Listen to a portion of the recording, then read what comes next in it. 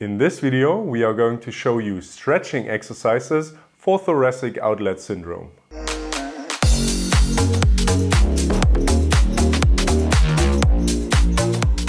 Get our very own assessment ebook and mobile app. Links are in the video description. Hi and welcome back to Physio Tutors.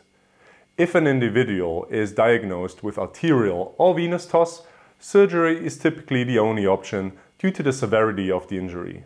For other forms of TOS, like the more common true neurogenic and symptomatic TOS, exercise should be the first option as conflicting evidence regarding surgical procedures and recovery outcomes are described. Low et al. from the year 2011 conducted a systematic review for the effectiveness of physical treatment for TOS.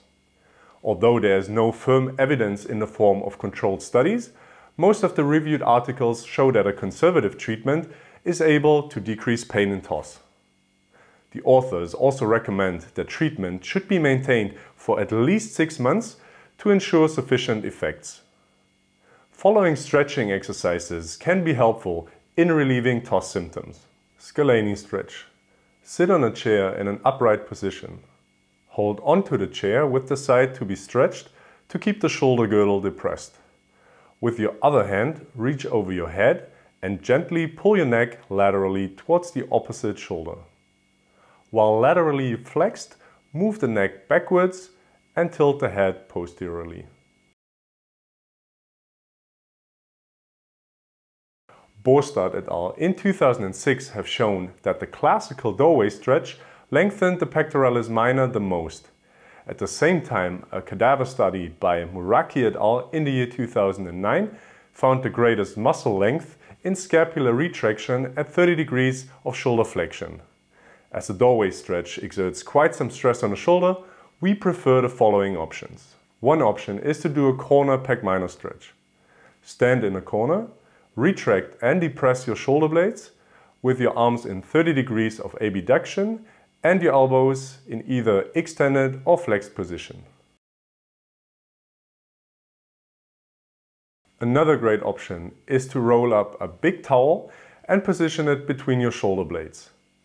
Now allow your shoulders to drop back and externally rotate in 30 degrees of abduction.